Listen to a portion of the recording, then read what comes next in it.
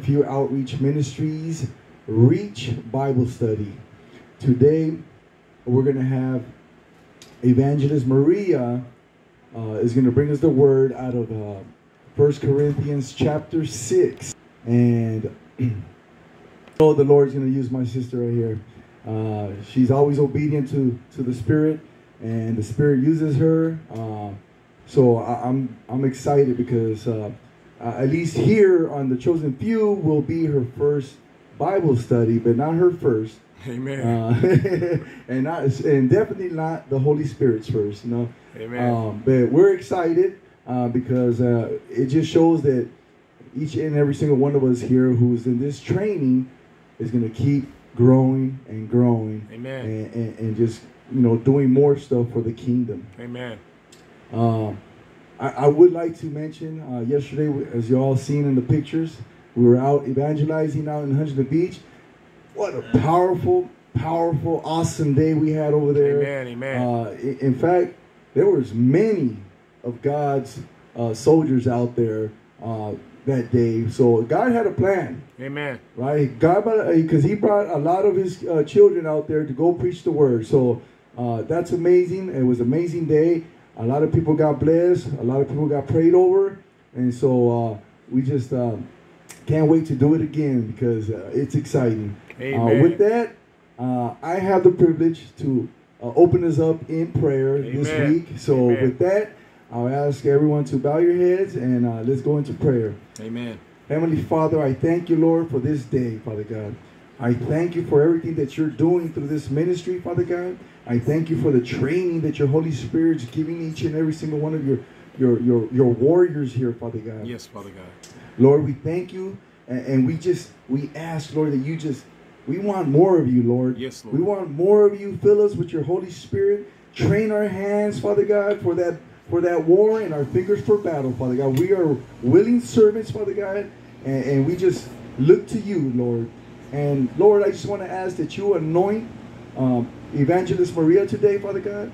That you use her, Father God, to to to to uh, teach your word, Father God. That those uh, people that are out there listening, whether it's today or tomorrow, Father God, that they may be blessed by this message that, that you're going to use uh, Evangelist Maria uh, to teach us today, Father God. So we love you, Lord. We praise you, and we give you all the glory, Father God. In Jesus' mighty name, amen. Amen.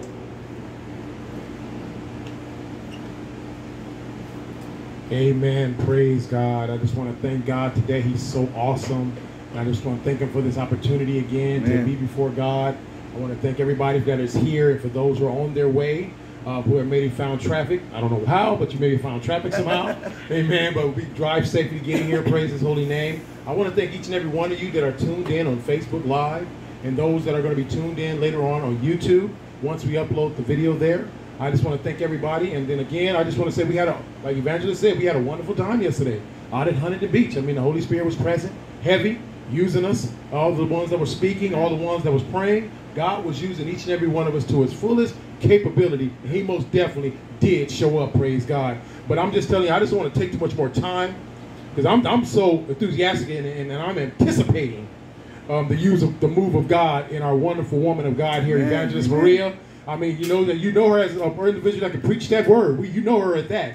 But God has said He's moving her into a new era of her calling. She's moving into the teaching realm. I mean, God is going to be opening up so many doors for her to move into areas where she'll be teaching, literally teaching the Word of God to individuals. So this is her first opportunity here on our Reach Ministry Bible study. But she's not. This is not her first time. Praise God. Right. So without further ado, I want to bring this mighty woman of God up so God can use her mightily to yes, teach us amen. on First Corinthians chapter six. Amen. Come on up, woman Praise of God. The Lord. Yes. Thank you, thank you, Pastor. I appreciate that.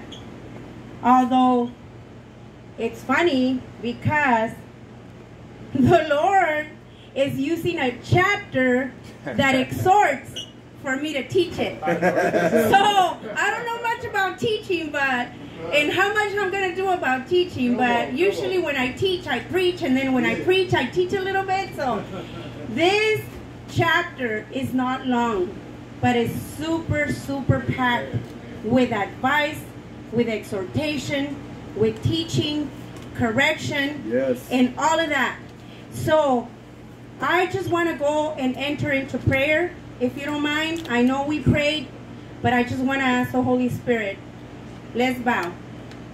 Father God, I ask that today you use me, Lord, as you would use anybody else that would be a willing vessel, Lord God. I ask that you use me in a mighty way to deliver your word in an honorable way, Lord God, that would reach those that need it, Lord God. Yes, Lord That you get me out of the way, Yes, that my experiences and my and, and my opinions and my feelings and my emotions get out of the way, Yes, and that I just speak your word, Lord God, so that those that need it can receive it straight into their hearts and their spirits, Lord Yes, God. Lord Jesus. In Jesus' name I pray. Amen. Amen. Amen. So with that, I am teaching on First Corinthians 6. Amen.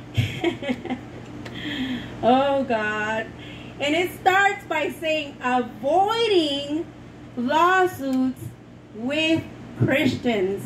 Hmm. Amen. Amen. I did not know when I came to the Lord that you are not supposed to go into lawsuits with your fellow Christians. Mm. But I assumed that you can't sue anybody, that once you become saved, you're that person that doesn't even get into any of that. Well, I learned because I heard one of our elders at the time when they put out the Christian business uh, directory on the counter, and he said, Well, thank you very much for letting me know who I won't be doing business with because if I do business with them, I can't sue them if they do me wrong. So uh, thank you for the direction. And I said, That is a weird comment. How does that work? I thought you just don't sue anybody. But, you know, the, the Lord does tell us to follow the law.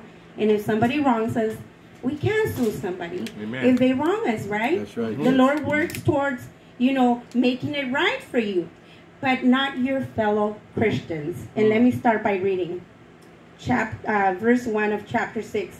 When one of you has a dispute with another believer, how dare you file a lawsuit and ask a secular court to decide matter instead of taking it to other believers?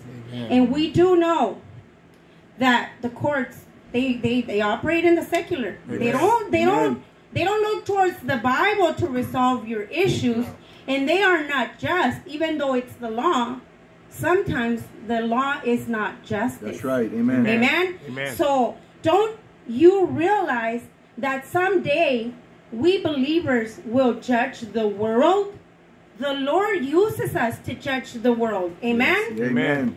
not to judge them as how they live, but to observe and see where they're doing wrong, and for me, so I can pray for them, right? Amen. As since you are going to judge the world, it says. Don't you realize that we will judge angels? Mm. Even angels. I didn't realize I had to go study. And I'm not going to go deep into that. But we are called to even judge the angels. Amen. The Lord Amen. judged an angel, remember? Thank when you, he Lord. became disobedient, the master of worship, Mhm. he had Yep. to cast him down. And he's now our enemy. Amen. Right? Because he wanted to be God.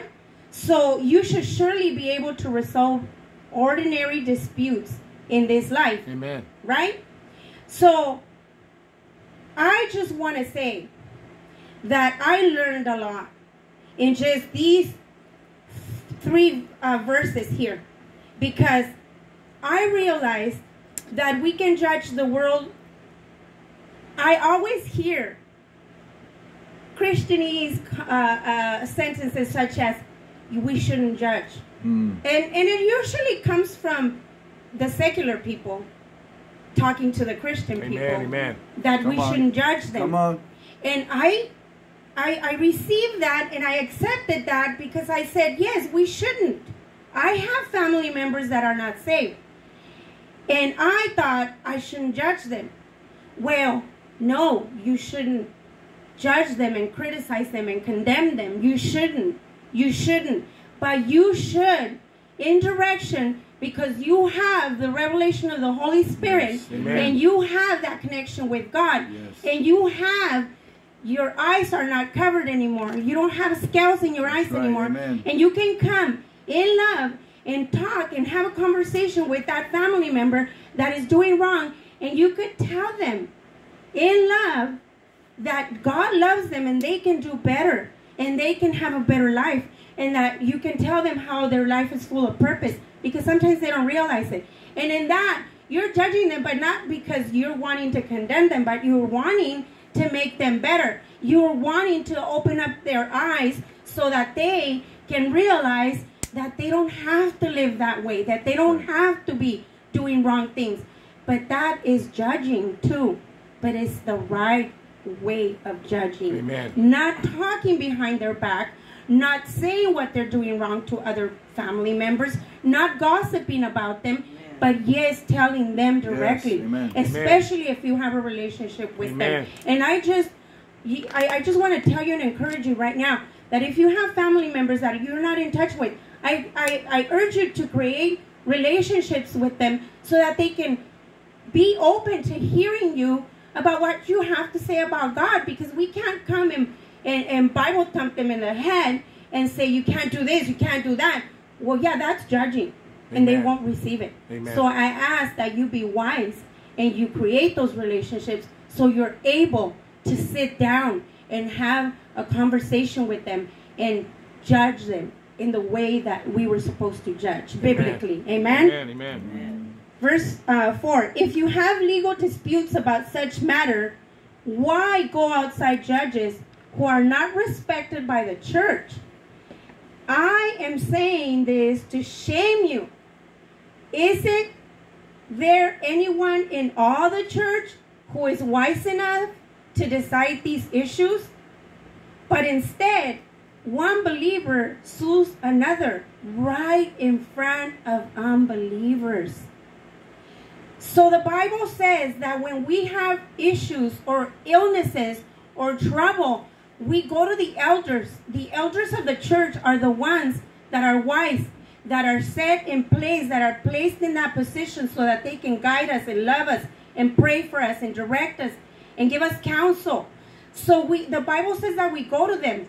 So why not go to them when we have legal issues? Amen. Why not go to them so that they can biblically, in a sound mind, direct us and give us instruction on how to deal with these legal issues? Amen. They're wiser about the Lord. They're wiser about the Word. They're wiser about how they've dealt with other situations. Maybe they've done it the wrong way and now they know how to do it the right way. And so they can instruct us. Why go to a courtroom, to a judge, to attorneys? It's all about money for them or laying down the law even when it's not justice. Instead of going to the elders, instead of Amen. going to a wise person. And if you don't have elders in your church that you think you can go to, go to. My mom was a great, I mean, I, now that I know the word a lot more, I know she was a prophetess, judge, prayer warrior, scholar in the eyes of the Lord. She had such wise couns- counsel for anybody that would call her. She had nonstop calls every week, and she was one of the deaconess of the church because she had that wise counsel. She she instructed her own pastor. Amen. And so, if you don't have elders at the church, find somebody like that that Amen. is strong in the Lord, that you know have your, their best in, interest for your life, and that will take you to the Word of God so that you can get wise direction directly from the throne room of heaven. Amen. Because these people go to the Lord before they counsel you. Right. They don't just say it out of, out of their emotions. Amen. Amen.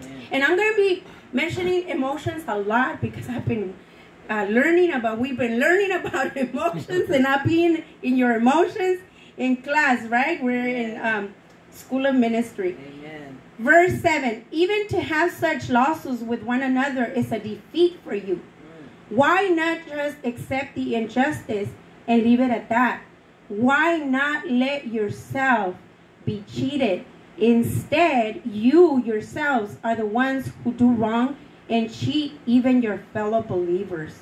So, I'm going to go to verse 6 but instead one believer sues another right in front of unbelievers i really mm. want to touch about that amen because see your actions as soon as you say you're following the lord and you love jesus christ and you're you're they think that you are proclaiming that you're perfect the people that are not walking your walk and so they they judge and they criticize and they and they see every step you take and if you are suing your own brothers and sisters your own brethren in your own church or in your own walk with christ don't you think that that could be one of the things that is could use that the enemy could use as a stumbling block for the unbelievers. Don't Amen. you think that we could be uh, giving false witness that we could be uh, causing somebody to not ever want to show up at church because they're going to say, well, if they're fighting amongst each other and they're suing each other and they're and they're and, and they're seeking their best interest instead of being humble, why should I follow their Christ? If that's their Christ, why would I want him? Amen. We don't stop and think about that kind of stuff when we're going through our own situations. So therefore, don't be a false witness. Don't be a stumbling block. Amen. Don't sue your brethren. It says here following, the verses following that. Why not let yourself be cheated? Ooh. Mm. who wants to be cheated? Okay. and who would humbly sit back and allow that to happen to them? Much more if they're doing your kids wrong Let's say somebody did something wrong against your children at school. Don't you want to go and fight them? I know my mom went and fought, fought them. When I started getting into a lot of fights in school, in middle school, not in high school, I used to go to the alley every Friday. I used to braid up my hair and beat up on some girls every Friday because they looked uh, wrong at me. They bumped my shoulder in the hallway. And they wanted to kick me out with a rightful, you know, reason. I was trouble. Although I wasn't fighting inside the school, but I was causing trouble with my classmates. And I was fighting them for just, I had anger issues. I didn't even know what anger was. Mm. But I had anger issues. And I was taking it out on them. And, and they couldn't they couldn't stare at me. They couldn't check me out. They couldn't bump into my shoulders because I would tell them I will see you on Friday after school in the alley. Mm. and I would beat them down. And I, I thought I was, you know, defending myself, right? My mom taught me to defend myself, right? Right? And I wasn't happy with that. I wasn't just happy with doing that. My brother came to me and he said, Oh, some girls are bothering me in class. They're bullying me and I don't want to get in trouble by going against a girl. Can you take care of it? And I said, show them to me in the hallway. So I waited for him in class, and when he came out, he pointed them out. And I started, you know, confronting them. And my brother was behind me on my left side, and my sister Rosa was behind me on my right side. And so the girl started, like, you know, being intimidated, I could tell, because I had a reputation. I would beat down every girl that would mess with me. So this girl said, well, no, I won't meet you in the alley after school. I want her. And then I'm like, which one of my friends is she pointing at? And so I said, excuse me. And she said, yeah, that's right, her. That skinny little stick Rosa was like right here. and I said, oh, you want to find my sister? Okay, I'll see you in the alley on Friday. And, and so after school. And so I went and turned around and looked at my sister and I said, I'm going to braid your hair and this is what you're going to do. And I gave her instructions on how to beat her up. I told her the tactics to use on how to beat her up. You see what I was doing in school? I was creating ruckus. I was I was a mess. I wasn't even concentrating on my studies. And my sister was a straight A student, and now I'm getting her to get into fights. And and so my mom had to really go. By the way, my sister beat her up. And from then on, my sister became a fighter. She became even a greater fighter than I ever was because I got married early. I got married when I was a teenager, and she just then went on with herself. And my mom went into school when they first they suspended me and then they wanted to change me to another school. And she came in there and she said, She is your problem during school. You can't control her, then it's your fault. You can't get rid of her that easy. You have to deal with her. You have to correct her. What are you doing with the other girl that fought her? And my mom didn't allow them. She said, because of you not wanting to deal with her, you're you're passing her on to another school. Well, over there she's gonna do the same thing, and much more so because I can't keep an eye on her as much as when she's close to me. So you will not kick her out of school, and I will take you to court if you do, because that's gonna make me get out of my way, and I have four other kids that I need to take to school. But was weren't they right in trying to get me out of there because I was too much trouble? Amen. But my mom came and tried to do justice. She didn't want to get cheated. She didn't want to waste more time. She didn't want to inconvenience herself. And she was a fighter too. That's where I learned it from. I saw her fighting the neighbors. So that's, you know. and so it was really her fault. So I don't know. She was defending me though. But she felt like she was going to be cheated. But in that time, she wasn't following the Lord. She has she hadn't reconciled with the Lord. Amen. But it's easy to go try to defend your own. And it's easy to try to say that you don't want to get cheated. And we are blessed and highly favored, and we walk in the anointing and we walk in favor. And when I go to the store, I'm going to get the first spot parking lot. And yes, all that is true. But we need to be wise and sensitive to the Holy Spirit when we need to sit back and take the hit because we might be ministering with our actions to those who have not yet found the truth, to, those who have not yet experienced the Lord in their lives. And they, if our neighbors are the only ones that our church to, uh, you know, we can show Christ to them and they don't want to go to church, then we need to sit back and we need to realize whose life are we impacting. I used to get into fights with neighbors because they would block me. I don't now. If a, if, if, a, if a visitor comes to my house, I run outside and make sure that they're not blocking my neighbors. I am a good neighbor. If I can be a good neighbor, you know, I do whatever I can for my neighbors. And and, and I that I wasn't that way before.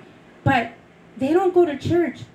And I don't have time to give everybody a Bible study or come and read the Bible with them. But if I can smile at them, say God bless you, and be a good example, and be a good neighbor, and even watch out for them. There was one day in the middle of the night, the neighbor's door was open and and it was like 3 a.m. and I know I don't know whether why the, his car door was widely open. And I had to wake up my son so that they can help me go alert him because I don't know if there was a guy in the car, somebody had just robbed his car, maybe he was in the car and they had just robbed him. And and and I go out of my way because I know that I need to make sure that they that they some see something different in me. I don't concentrate on being cheated. I don't concentrate on, on, on people doing me wrong anymore. Because because we waste time, energy, focus, and we even waste that connection with the Holy Spirit when we start concentrating on those things. Amen. It's hard. I'm not saying it's easy. It's hard. But we need to make the extra effort to be different. We were called to impact the world. We were Yes. called to change the world. We were Yes. called to, to bring souls to Christ. Yes. How are we going to bring them if we're not different? If we're the same as the world? We are not of this world. We're just passing through. Everything that is physical possessions or anything in this world, it's not worth it. Amen. The only thing that is worth is your salvation. Amen. Fight for that. Yes. Fight for being an influencer. Amen. Amen. Amen. Verse 9 Don't you realize that those who do wrong will not inherit the kingdom of God? Don't fool yourselves. Those who indulge in sexual sin, or who worship idols, or commit adultery, or are male prostitutes, or practice homosexuality, or are thieves, or greedy people, or drunkards, or are abusive, or cheat people, None of these will inherit the kingdom of God. Amen. Some of you were once like that, but you were cleansed. You were made holy. You were made right with God by calling on the name of the Lord Jesus Christ and by the Spirit of our God. Amen. Amen. Amen. How many of these, like Pastor Dan this morning when he was preaching and he was saying, I might as well raise up my hand for all of these things, all of these past, past issues that, you know, I'm reading right here. How many of us were raising ha- their hands for several of these? Amen. Amen. You know, uh, when I came to the Lord, uh, I was fighting against idolatry with my um, ex-husband. I didn't know that he was doing that, but I asked the Lord for direction, and, and He showed me that there was idolatry in his heart, and I didn't know. But my mom had said that I idolized my husband before I came to the Lord, and I started separating myself from my family because of that, because I didn't accept it. I said, I know, I know who God is, and because I'm not following Him doesn't mean that now I'm idolizing a human being. I'm not. But I was because I loved Him Amen. and I worshiped Him and I followed Him, and He was on an assignment to take me to a bad uh, cult, and it and it and everything came to light when I turned to to Christ, because when we were married, we were fine, and He was happy until I turned to Christ, and then He started showing His true colors, and He started trying to take me to where He was worshiping His God, and I wouldn't. And I know it's because of my mom's prayers that I didn't fall into that. My mom prayed for me for 25 years. And I know that she was praying hard, and my sister Rosa were praying hard, and I know my dad too. But I know that the ones that were crying, fervently praying on their knees for me were my mom and my sister Rosa because they knew, because they were alert. I was blinded, I had scales in my eyes, and there was idolatry in my house. Him towards his God and all his statues and books and all that meditation he was doing, and me by following him. But the day I said, I release him to you, Lord, I gained freedom. Amen. And Amen, he amen. left because darkness couldn't stay in that Amen. house. And the Lord was the Lord of that house. Amen. And he became the, the one that, that ruled in that house. Amen. Amen, amen. And I had to give that up. It wasn't easy. I loved my husband. But I had to do it because he was on an assignment. He wasn't going to turn his heart to God. He had already showed that. And so idolatry had to leave my house. And before he left, I had to anoint the house, pray for the house, inside and out, in every room, every bed, because I was fighting spiritual warfare every night. The demons were flying over our bed because it was that heavy. And God had to show me. I was suppressed and I didn't know it. If you see my pictures nowadays from back in the day, I look like I was when they have those uh, what do they call it when they do uh, sessions with you and they Hypnotized. Hyp- yeah, I looked hypnotized. My eyes looked hypnotized. My eyes look different. They don't. They didn't look like the light that they that they show now. And a lot of people always tell me that yesterday this man just told me that my eyes were full of life. I know it's Christ, and I know it's Yes, because I died. I tried my hardest to die to myself every day Hallelujah. because I don't want to die idolize anything in this world ever ever, Amen. ever. Today I changed my outfit three times. I don't want to idolize outfits. I just wanted to be comfortable because I knew it was going to be hot in here. Pastor Henry's preaching sauna in here, like, but he took care of me. There's a fan Yeah, I got you. flowing, and I feel it. Thank God. You know, but sometimes we worship our wardrobe. Yeah. We worship our husbands. Amen. We worship our children. Let's be careful not to worship them. My mom didn't worship us. She said, I know you're not mine. I know the Lord is... uh, assigned you to me, and it's an honor, and I will pray for you all the time. But I tell the Lord, do with them as you will, Lord. Whatever it takes, but bring them. I don't care if they have no legs, but bring them to your feet. Whatever it takes, Lord, only you know them more than me. Only you love them more than me. Amen. Bring them to your feet, Lord. And he did. And when before she went to heaven, she was able to see all her children saved, all her children baptized, all her children serving the Lord. Amen.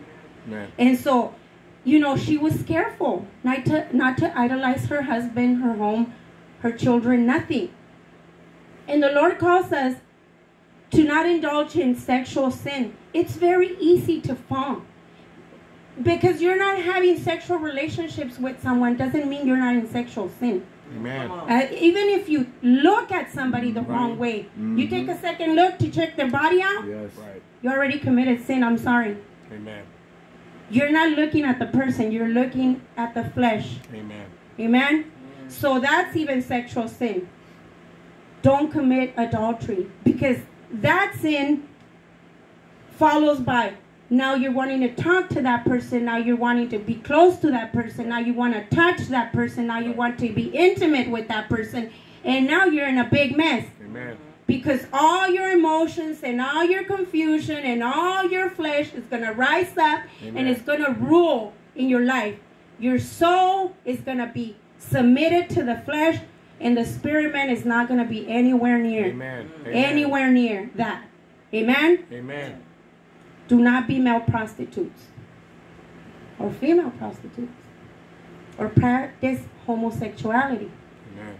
or be thieves or greedy people or drunkards. See the the the, the uh, Christians, you know, there's some Christians that I know that that that drink a drink, you, you know, or two when they go to lunch or dinner or whatever, and they say, you know, the the Bible doesn't say not to drink a drink, and they're right. The Bible doesn't say not to drink a drink, but it does say to not be drunkards. Amen. And I'm going to give you an example of why you shouldn't drink a drink. Sometimes we're under stress. Sometimes we want to relax. And pills go in this situation and scenario as well. And we, we say, I'm drinking it to relax. Even coffee can be an addiction. Amen. Amen? Sugar can be an addiction. Yep. Amen. I'm going to give you an example. My mom told my uh, grandmother's husband, that's, you know, not my mom's dad, you know, you, you shouldn't be drinking. Oh, I control my drinking. I just do the weekends and, or one, you know, when I come home from work, I just drink a beer to relax with dinner. And that's it. I don't harm anybody. I don't, I'm not doing any harm to anybody or myself. And she said, talk to me in 10 years and see if you didn't become a drunkard. She said the same thing to one of my uncles on my dad's side. She said so the same thing to one of her brothers, my another one of my uncles. And she was right. Because the devil uses that. Alcohol is not meant to go into our bodies. It's not it's not meant for our bodies. And when you do that to relax yourself, then you start resorting to that because it makes you mm. feel better, it makes you relax, it makes you feel good, it makes you beer tastes nasty. I don't even know why people drink beer. And they all became drunkards because they can't just take one. Right. Then they increase it to every other night, then every night, then uh, you know a few over the weekend because you're not working, and then you increase it little by little. It's like smoking, like pills, like everything that is addictive. Even pain pills. When the doctors prescribe you pain, pain pills, it's not for your best interest. They don't care. They work for the pharmaceutical company, and I'm not even going to get into that I'm not political on social media. Amen. But you don't ever stay that way because the enemy, that's how he creeps in. So don't fall into it, people. Or don't be thieves. My prayer pastor said, if you're taking a clip, a, a, a paper clip from work, you're stealing. Amen. If you're taking a notepad from work, you're stealing. If you're taking a company pen from work, you're stealing. Amen. You're not asking for it, are you? If you ask for it and they give it to you, fine. So you're the same as if you're committing, uh, you know, grand theft robbery. You steal a car, you steal uh, money from the bank, is the same thing because we need to be good witness. We fall back onto who are you witnessing to, onto who's uh, judging you as a Christian, as a follower of, of Christ. Amen. So, don't cheat people.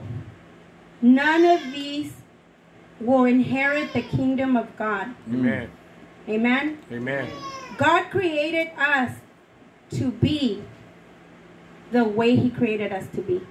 He didn't create us one way so that we can become another. He didn't make a mistake. The way He created you, that's the way you're supposed to be. You can't change your mind halfway and try to become something else. Amen? Amen. So, don't give yourselves for prostitution because that brings a whole nother message about soul ties. Mm. Amen? Amen. And the girls that I go after are, I don't call them prostitutes because they are victims of human trafficking and sexual exploitation. And Amen. some of these were there captured since they were little girls. So I don't call them prostitutes. Amen. Some of them might be or have started that way, but it's usually not by choice Right. because most of them have pimps that are controlling them or manipulating them. Amen. Amen. Amen. Some of you were like that, but you were cleansed. Hallelujah for God's mercy Yes, and Lord grace Jesus. Hallelujah. and, and, and, and, and patience because I was I was a lot of these sins. I was a lot of these. A lot of these. And the Lord had mercy on my life and He washed me clean. And I didn't believe that I was fully clean to serve these women that I go after. He had to take me to Florida for a month so he can use an elderly couple and say, You are without stain and wrinkle. Go after these girls that are being human trafficked. Go back. They didn't know I used to work for them and left because I didn't feel worthy. But the Lord takes care of you. And when you go after the Lord and you go after what He purposed you for, He will take care of your house and your loved ones. Amen. You don't have the assignment to save your children. You just have the assignment to, to, to teach them with your life, the way you live your life, and by praying for them so that the Lord can reach them. Amen. Because there's going to be other people that are going to come and speak into their lives. I prayed for that for my ex-husband. I prayed that that somebody would come into work and talk to him about the Lord. And they did when we were already separated and on our way to divorcing. But I know now that that wasn't wasn't the man for me. Amen. But he saved him, praise God. He saved him because of my obedience. If I would have said, okay, I'll follow you to your cult religion, we would both be lost. And I want to believe that he said, who is this God that is so powerful that she is serving now, that she would give me up? Who is he? Amen. I want to believe he wanted to learn about him so much that he became saved. Amen. And now he's serving the Lord and Amen. preaching the word of God. Amen. Amen. Amen. Thank you, Jesus. So, next section is avoiding sexual sin. It concent- concentrates more on that, and that's verse 12. And I'm going to excuse myself. I'm getting dry. Amen. And it says, You say, I am allowed to do anything, but not everything is good for you. Amen. And even though I am allowed to do anything, I must not become a slave to anything. Amen. Yes, the Lord gave us free will. It does say it in the Bible. Because He doesn't want robots, That's right. He doesn't want blind sheep. He wants you to willingly and lovingly and patiently follow Him and surrender all to Him so that you can experience Him in a full, powerful way. If He didn't give us free will, we wouldn't be able to do that. We would just be robots. Amen? Amen. I must not become a slave to anything. Come on. Not to your job, not to your title, not to your money, not to your home, not to your relationships, not to your boss, not to your even to your church. Don't be a don't don't don't be a follower of the pastor. Amen. That's right. Amen. When our pastor was leaving the church because he wanted to retire because it was his time. He wanted to retire way before that. But he couldn't because he he he couldn't find anybody to do it. The, the one that was supposed to do it said no, so he had to stay longer. People said, when he leaves, I'm gonna leave. Because I've been here since he's been here. No, Come on. Change is good, people. Growth is good, people. Amen. The Lord calls us to step out of our comfort zone. Yes, amen. So when the Lord is retiring a pastor and rising up another pastor, you support them. You encourage them. If they're not as as as spiritually uh, in in the level as the previous pastor, pray for them, fast Amen. for them, encourage them, give them a word of encouragement when you see them in the hallway instead of criticizing the way he's doing things because mm. now there are new things and you're not used to it and you're so used to sitting in your pew and, and receiving the preaching a certain way and now Amen. you feel uncomfortable because the preaching is not strong enough or soft enough or loud enough or, or quiet enough. No, let's not complain. If the Lord set them there in that position, it's for a reason. And if it's not to reach you, well, guess what? Then the Lord is telling you to rise up and go to the higher level so that you can touch the younger generation that is Amen. rising up. They need to be strong leaders Amen. so that they can see it in you and Amen. they be encouraged. But if they hear you complaining and they hear you criticizing and they hear you down talking the pastor at home, then that's what they're going to do. Mm, come on. When they become uh, adults and have their own children, that's what they're going to teach their children. Do you want that kind of generation to follow you? Amen. No. Amen. No. I don't even know why I went into that. Amen. Amen. Amen. The Lord calls us to support one another. Amen.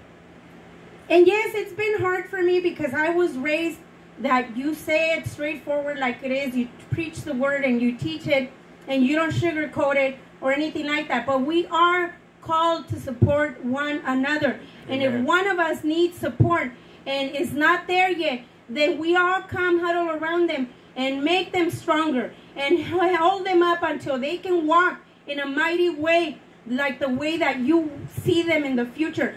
I have to have patience with those who are not there yet because I was once one of those that was not there yet. Amen. And I, I surrounded myself uh, purposely by mighty women of God that went alongside me and prayed for me when I was going through my troubles with my ex-husband. And because of them and my mom's prayers and my mom's wise counsel, even though sometimes I didn't want to receive it, is that that is because I am here today. And I can stand here and preach the word of God because I was taught the right way. You fight for your fellow brothers and sisters and you help them get up. They fell, they committed sin. Don't judge them because they commit sin in a different way than you do. Maybe you're a gossiper and they're they have sexual immorality. Right. Maybe you're a thief and and, and, and they're going around they're living a double life. When they're down and they're and they're on the floor, get down on the floor with them and peel them off the floor and tell them what God created them to be. Amen. Amen. Amen. I don't even know where I am. Holy Spirit. You say food was made for the stomach and the stomach for food. This is true, though someday God will do away with both of that. Mm. He will do away with food, He will do away with your stomach. So don't get concentrated too much. I always say everywhere I go, I'm always hungry and I love food. Just give me anything. I'll eat it because I'm always hungry and I love food. There are almost nothing in this world that I won't eat except for raw oysters. They're good. They're good smoked. but even that is a sin. Gluttony is a sin. Putting stuff in your body that no, you know that is wrong for you is a sin. Because you know what you're going through. You know your body. You know what's wrong for you. And yes, we are called to enjoy. There's passages in the Bible where it says we enjoy feasting. Yes, we enjoy what we like, but we know we know where we, we get out of hand. Amen. So don't say that everything that was made for the stomach you can just take to the stomach. Amen? Amen. Amen. But you can't say that our bodies were, were made for sexual immorality either. Amen? You can't say that the Lord made body for sex. There's a right way for everything in, in order for everything because God is a God of order. Amen? Amen. So therefore, follow the order of God. Yes. Don't think you can have sex and not have consequences. have sex and not have soul ties. I cannot wait. I know that Pastor Henry is going to preach on soul ties, and I know it's not only sexual soul ties, but that's part of it. Soul Yes. ties, study on it. I always encourage people because it's dangerous. You drag it Yes. for a long time without realizing that you have them, and that hinders your walk with the Lord and your assignments and your purpose and your destiny and all the, the, the ministries that He has for you. It will hinder them until you get rid of them, confess them, ask for forgiveness for them, and ask the Lord to release you from those. Amen. Amen. They, your bodies, they were made for for the Lord. And the Lord cares about our bodies. And God will raise us from the dead by his power, just as he raised our Lord from the dead. He wants to raise us from everything we've ever done. Sometimes we even feel guilty for things we went through when we were children. Did we go through a period where somebody was molesting us? Did we go through a period where somebody was bullying us or judging us or ridiculing us? I remember I was in school and all my life I thought it was a dream. But I remember the teacher took me into the supply closet to get more markers and he fondled me. And I thought it was a dream. My whole life I thought I, in my mind, was idolizing him, wanting him to do that to me. See how the enemy works? Mm-hmm. The enemy lies to you and tells you it was your fault, it was your doing, it was your thinking, you're dirty, you're the one that caused it. So therefore, keep it to yourself because you will be judged and then you're going to be scorned because it was you that caused it. Mm. And I and I thought, mm. wow, I had unpure thoughts since I was a little girl and I didn't. I didn't. The Lord revealed that that teacher did that to me. And the enemy caused me to quiet my mouth so that it wouldn't come to light and made trick me into believing that it was my thoughts, that it was a dream, that I dreamt that. Mm. So I wouldn't tell anybody. That's how deep the enemy works in your children's lives. Right. So pray for everything because yes, the Lord will deliver us from anything. But how many years did it take for the Lord to deliver me from that one? The the Lord wants you to be healed. The Lord wants you to be free. The Lord Amen. wants you to be walking in his purpose. But just as the Lord wants that for you, the enemy wants the opposite. And he will use anything. And if someone molested you, he will make you believe that it was your fault so you don't say anything. Mm. If somebody's bullying you, he will make you believe that it's because you are not worthy, you are not you are not uh, called to do anything good, so therefore that's why you're the one that needs to be the punching bag. I remember I was in line one day and um, I, I, I've, I've always been real hairy. My legs, my arms, and, and my mom didn't let me shave. And, and, um, and, and they were calling me a boy. They were saying that I was a boy and that I was in girls' clothing and they would bully me. And I started gathering. I know my mom used to pray for us when we used to go to school because I don't even know where I got the strength from because they used to say that all the time about me. And I would stay quiet because I was hairy. I couldn't say I wasn't. So, you know, I took it. But then I started gaining strength and I didn't know where it was coming from. And now I understand it's because of my mom's prayers that I started talking to them and I started saying, I am a girl and God makes people different ways. And just because I'm different than you doesn't mean that I'm a boy or that you can make fun of me. You have freckles and your hair is orange and I'm not telling you anything. And I'm like, I'm like, you know, sometimes I had to just talk back. I didn't know how to defend myself, but I started being more confident as I started speaking up for myself.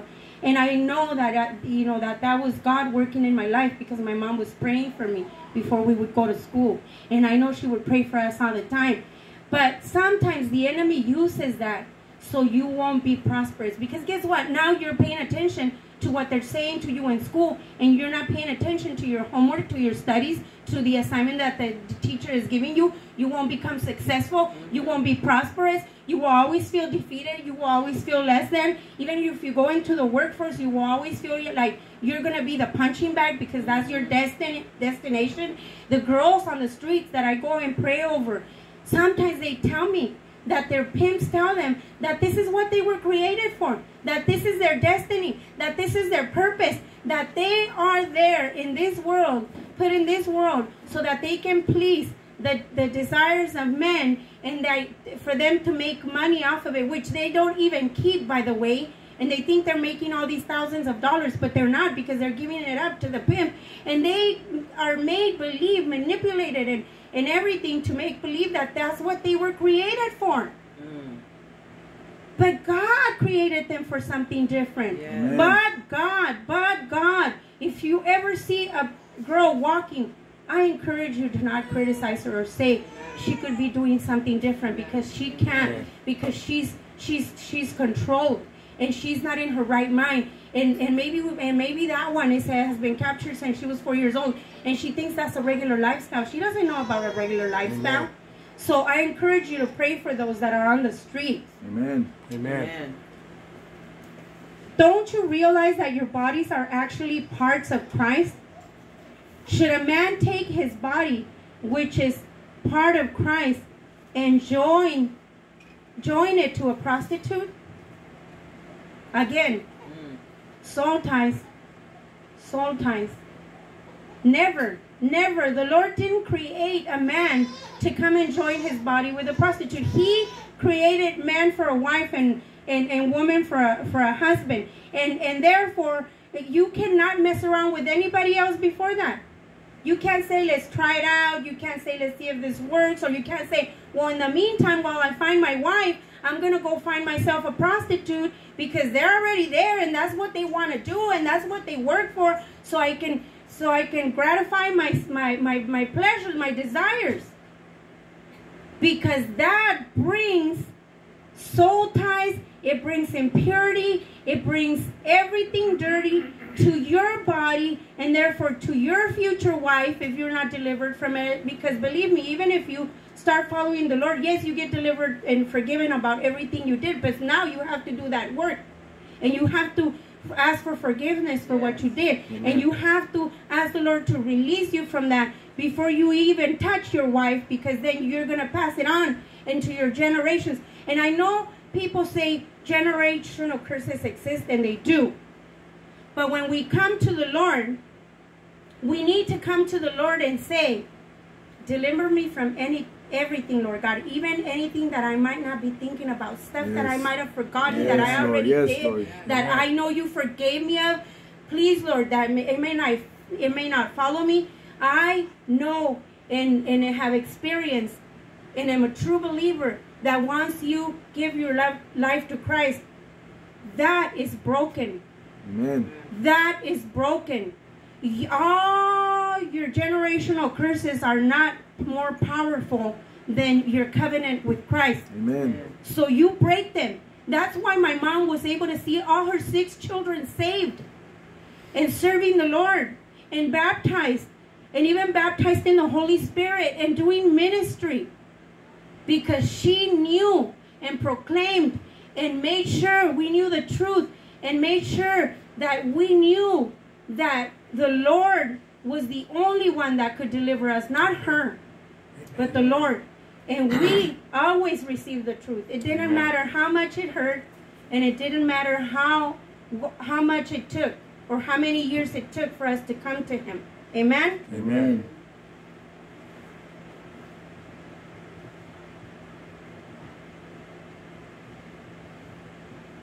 So don't you realize that if a man joins himself to a prostitute, he becomes one body with her? Is that what we want our children to be? One body with a prostitute? No. For the scriptures say, the two are united into one. That is how the enemy comes and takes over your body. Because he will take the form of a woman and seduce you so that you can fall and dirty the Lord's temple. So that nothing good can inhabit in it. Because do you think that the Holy Spirit is going to dwell in your body if you're joining your body with a prostitute? Nope. So we need to be careful of even our thoughts. And we need to make sure that we teach our children that that is not right. Once I walked in uh, to one of my boys in the computer or on the TV, um, and he was watching porn. And I knocked on his door because I, I, I saw him through the outside uh, window at night. It was in the middle of the night. I guess he thought I was asleep. And I knocked on his door and he's like scrambling. I could hear like all kinds of stuff moving. And then he like, um, open the door right now. Stop hiding your evidence. and so he comes to the door and he's like, what? What? And then I said, give me, give me it. He's like, what? Because I mean, we didn't have cable, so I know it's like a, a, a, a, a one of those VHS or whatever. And he's like, I said, I, I saw what you were watching. Give it to me. And then he's like, it's not mine. It's not mine. If I give it to you, I'm going to get in trouble. And I say, I don't care. Mm. Give it to me. And then he like reaches out inside of the closet and hands it over to me. And he says, it's one of my friends from school. We've been passing it around. And I'm going to get made fun of if I give it to you. I need to return it tomorrow to school. I said, yeah, you were going to return it tomorrow to school, I'm sure. I'm sure. I said, who are they? Oh, oh, well, I can't, I can't tell you that. And then I said, okay, okay, don't tell me, but I'm going to go to school tomorrow and I'm going to rat you out to everybody and all your friends and I'm going to tell them what I caught you doing and they're all going to find out anyway. And I'm going to talk to their moms and tell them what you were doing with the with somebody else's property.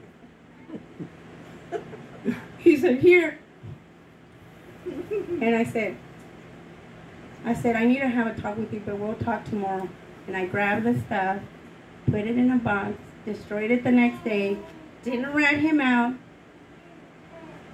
And I said, I said, mijo, those things that you were watching are impure. You have not been with a woman yet.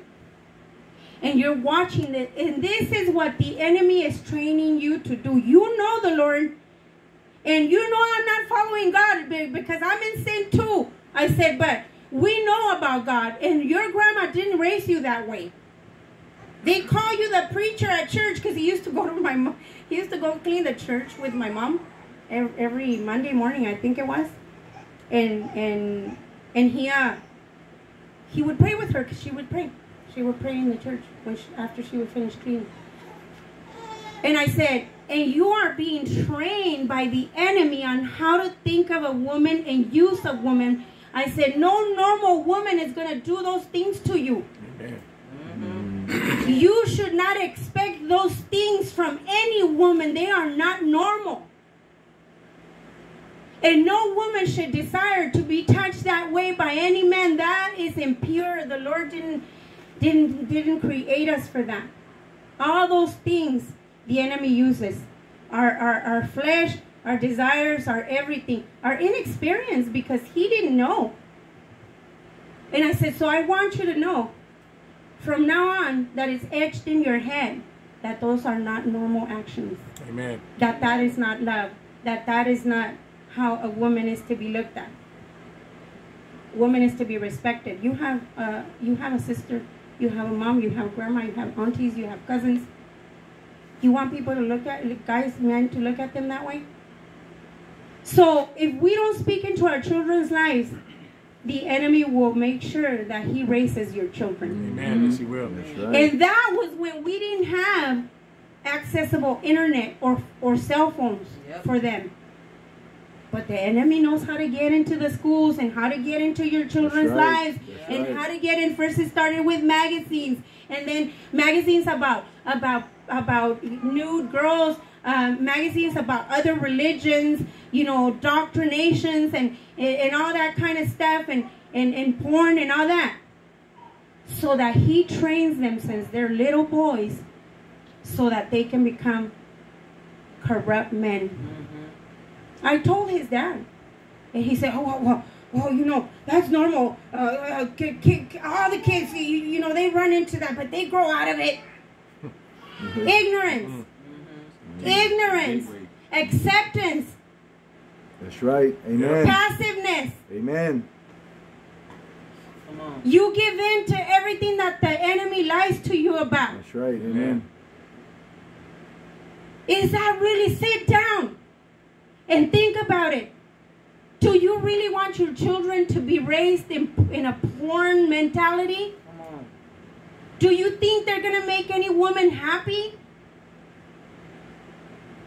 Because they are going to feel miserable because our bodies weren't created to be that, so they are not going to be happy. They are not going to fulfill their purpose. They will have crushed hearts. They will have crushed spirits. They will have warped mentalities. And they will live a life of failure. So you need to pray for your children to be delivered of sexual immorality and all the lies of the enemy since they were three, four, five years old. Yes. If somebody ever touched them or spoke into their lives or showed them an impure image, you need to pray all that out of them Amen. and away from them Amen. and pray protection over them. Yes. Amen. Because that's it, how, how the, the bad spirits want to overtake them. Then they will visit their, their beds and try to pull them away from you. Amen. Amen. Praise the Lord. Amen. Praise the Lord. Thank you, Jesus. Run from sexual sin. Yes. You know, I tell my friends every chance I get.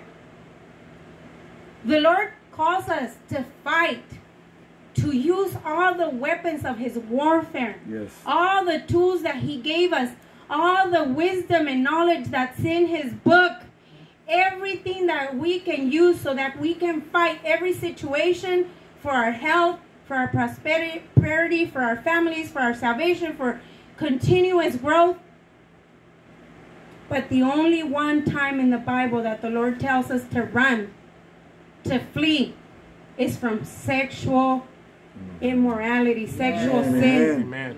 Because he knows that we don't stand a chance. He knows that our flesh will give in. He knows that if we put ourselves in those situations, we are going to fail him and we are going to feel miserable and we're going to regress in our walk with the Lord. And who knows how long we'll be in our shame and in our and, we won't be able to talk to uh, fellow believers so that they can help us get out of that slump.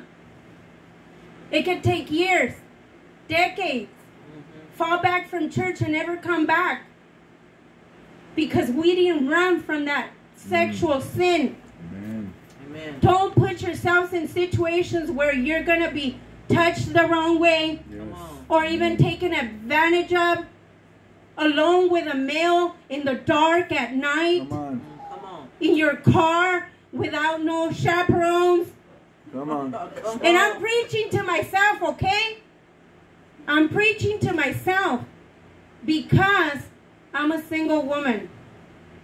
And the Lord started speaking to me about a husband, which that's a whole other story. Pray for me. Because I don't want him. I mean, I say, why mess up a good thing, Lord? Like for 12 years, it's been me and you, and we've won every battle. We win every time. Why would you want me to deal with another human being that is faulty like me? I can't even change myself. But God knows what's best for me.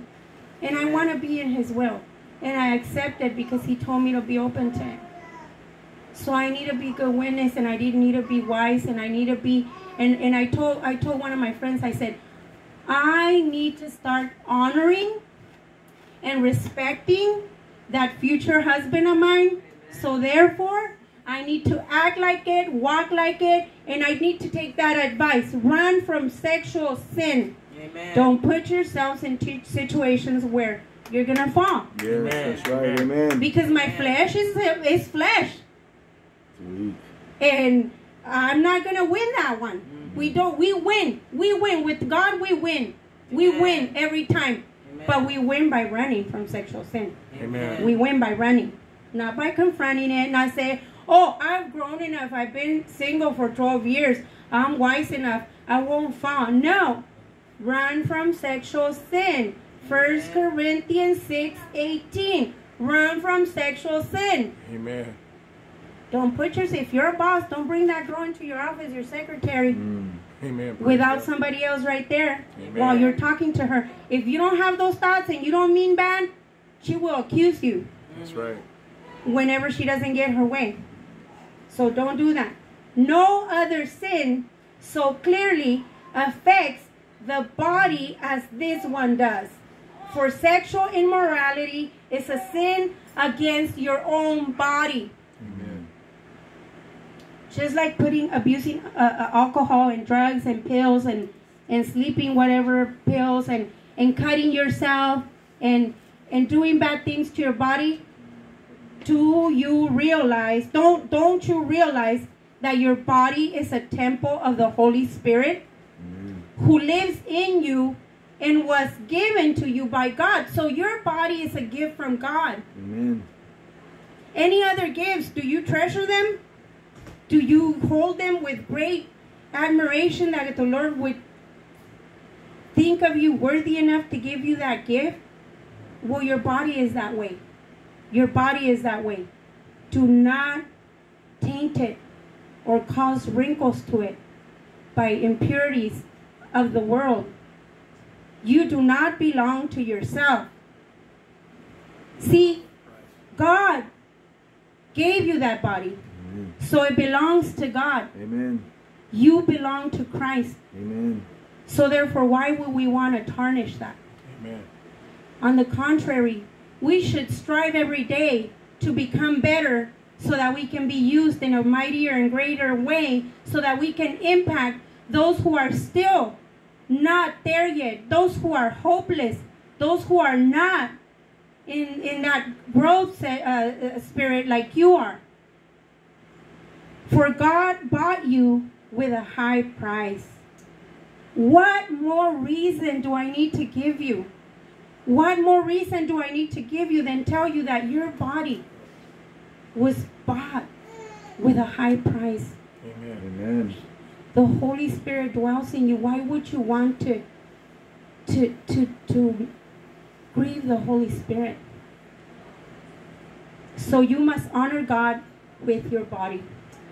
Amen. Amen. Amen. And that is what God had for you today. And if Amen. it felt like an exhortation, that's because that's how the Lord uses me. Thank you, everyone. Praise the Amen. Lord. Lord. Hallelujah. Praise the Lord. Hallelujah. Hallelujah. The Lord uses her that way because she's the evangelist. That's right. Uh, awesome message. yes. Uh, we, Lord, thank you because, uh, yeah, many of those, we were many of those. Yeah. And give thanks to the Lord because we're not doing that anymore. Now we serve the Lord. We serve the Almighty, great I am. And Amen. so Thank you, Jesus. I just thank the Lord for that message. Uh, I hope many were blessed by that message. And I hope that many, uh, that the Holy Spirit will give them clarity uh, on what that message is. Because, you know, the enemy is going to try to distort that message. Yep. Mhm. So we'll be praying uh, that that it falls on fertile soil, and and, and, and for those that, that that are listening to it or will listen to it, that they'll get that clear message that the that the Lord wanted them to receive uh, uh, concerning chapter six. Um, so with that, I'm going to ask uh, Pastor Henry Pollard to come up here and close it out and pray. Amen. Amen. Amen. Amen. Praise God. So I have been nominated to pray us out today. Praise God by the Holy Spirit. Amen. So I'm going to be obedient. Amen. Praise God. Amen. So um, get prepare your hearts to be prayed out. Amen. And then after I pray us out, then I'll I'll come back and do my other role. Amen. Praise God. Father God, we just come before you right now, just thanking you, Father God, for this word that was given to us, Father God. This teaching of your word, Father God, that we pray that it did not fall on deaf ears, Father God, that each and every man and woman that heard this message, that it, Father God, it goes into the heart, goes into the soul of man, Father God, and bring about change and transformation, Father God. We pray that, Father God, that our walks before you be honorable, Father God, in the name of Jesus. And we pray that, Father God, that our thoughts be pure and our heart be pure, Father God, before you, Heavenly Father. And we're just asking that on this day, Father God, that everyone that has heard this message be uplifted, Father God, and that they be leveled up in you, Father God, in the name of Jesus. That they not be the same, Father God, Yes, but that their lives moving forward be, be transformed Yes, in the name of Jesus. So, Father God, we ask on today that, Father God, as we close out this service, that you move through our lives, Father God. That our lives, Lord Jesus, may be a newness in it, Father God, and a new way of thinking. And we ask for protection over each and every individual today that are here and those that are across the Facebook Live, Father God, that you protect us from all harm and danger, Father God. And that, Father God, that all the fiery darts of the enemy may not be able to penetrate our lives, Father God. And we just give you honor today. We ask that you bless the speaker. That, Father, that you continue to increase the speaker, Father God. Use the speaker mightily as the speaker, Father God, moves forward in you, Lord. And we just give you all honor today, glory and praise in Jesus' name. Amen and amen. Well, praise God. Hallelujah. Thank you, Jesus. Just want to thank everybody for coming out today. It has been a blessing. I'm telling you, I mean, this message was a powerful. It was like been a short chapter, but it had a lot of nuggets in that short Yeah. chapter. As you know, one thing we get that one quick punch. That's what this chapter was. A boom, right there to the gut, and you gotta take it and just keep on pushing. Praise God, Amen. And so I just want to thank each and every one of you that were tuned in. As I noticed, there was quite a bit of people tuning in, and I'm hoping that you receive what you that you tuned in to receive. And I'm asking that you come right back here on next week because we have a powerful pe- uh, preacher coming through here next week, one of our guest speakers. So we definitely want you to come on back through here. His name is going to be Evangelist Art Martinez. He is the evangelist pastor over Chapel of Change out of Carson. He's going to be coming through our house. He's been here before and he tore the house up. So you don't want to miss that one. He's going to come in here and now he's going to tear the garage up. Amen. Praise God. So I'm looking forward to that anointing coming through this house. Amen. But Sister Evangelist Maria, just want to say, continue to let God use you. Amen. I'm telling you, God is moving through you, and He's and He's opening up doors for you, and He's making things happen. I see Him shifting in your atmosphere. Yes. You keep on letting Him shift Thank in you, your atmosphere, Yes, and I'm telling you, God is about ele- elevating you to new levels. Yes. Amen. You never stay the same in the kingdom. That's right. You elevate. See, God has to fix you up a little bit, move you to another level. So don't keep your mind closed off for elevation. That's right. See, God will move you through the realm and from a teacher to a preacher, from a preacher to a teacher. Come on now. He'll do that for you from an evangelist to a pastor. See, God at his Man. discretion moves you Man, through man. the on through the world and through the uh, minds of people and also through the different gifts of the spirit. He moves you. That's right. Not man. Amen. Man can't move you to the next level.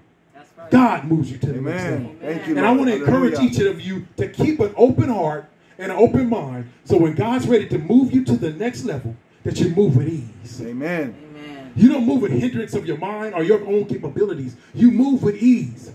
I'm telling you, you got to be comfortable with the move. Yes. Got to be comfortable with the next level. Yes, amen. Because see, the next level comes what? Great responsibility. Amen. And so prepare your minds. So I don't want to go ahead and start preaching. We're gonna we're gonna shut this thing down. Praise God. I had somebody that was on there that was asking a question. I think it was Uche saying, when is soul ties happening?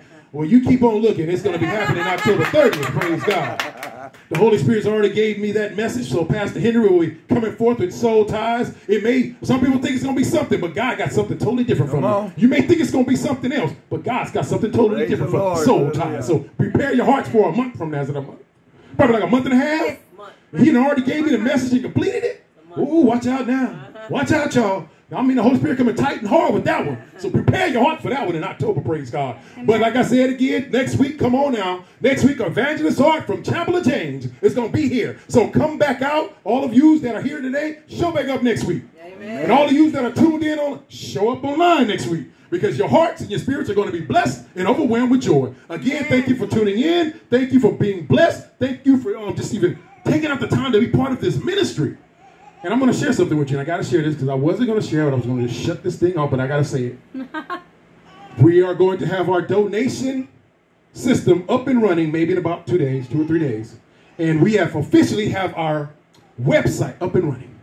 Praise Yes, God. Chosen God. Few Outreach Ministries website is up and running, so you can go there and see what we're doing, see how this ministry is moving forward, and have opportunities for you to be a blessing to this ministry on there. So it's going to be a lot of opportunities for you to help push this ministry forward as God pushes it forward. See, because remember, God don't need your donations.